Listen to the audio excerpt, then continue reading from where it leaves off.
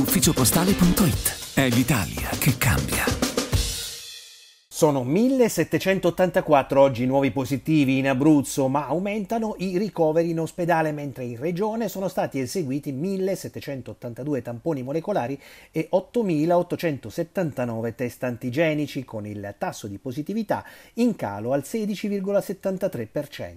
Soprattutto non si registra nessun deceduto a causa del Covid nel report regionale, che invece nel corso della settimana passata da lunedì ha raggiunto la quota di 19 vittime, mentre sono complessivamente da inizio pandemia 435.683 i guariti con 711 pazienti che hanno superato il Covid e 54.036 gli attualmente positivi, 1.073 in più nelle ultime 24 ore, di cui 266 ricoverati in area medica, dove si segnala un aumento di 9 pazienti e 9 in terapia intensiva, più 1.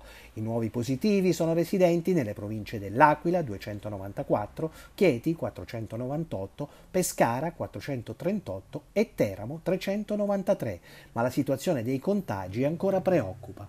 Professor Paolo Fazzi, eh, situazione che eh, evolve e ancora eh, i contagi sono però oh, tantissimi. Sì, purtroppo i contagi sono numerosissimi e diciamo, questo trend purtroppo non, non, non è in discesa, anzi eh, di giorno in giorno forse si osservano sempre più contagi.